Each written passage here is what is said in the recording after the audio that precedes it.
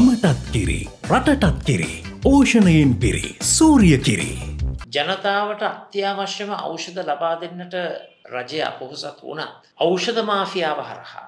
බාල බෙහෙත් ගෙන්නලා. හොර පාරෙන් වෙළඳ පොල්ට ඇතුළත් කරන ඒ දූෂිත ක්‍රියාවලිය කරන්නට රජය තමන්ගේ දක්ෂතාවය රටටම පෙන්නල තිබෙන. විශේෂෙන්ම රෙටුක්සිමාම් කියන ඖෂධය. මේක ලබා දෙන්නේ ස්වයං ප්‍රතිශක්ති කරන රෝග තිබෙන ගිලන් වෙච්ච ප්‍රජාවට. පිළිකා රෝගවලින් පෙරෙන රෝගීන්ට. ලියාපදිංචි නොවූ ඖෂධයක් ගෙන්වීමේ ඒ ක්‍රමවේදය බහුලවම ක්‍රියාත්මක කරලා තිබෙන්නේ වර්තමාන සෞඛ්‍ය අමතිවරයාගේ සෞඛ්‍ය අමාත්‍යංශය.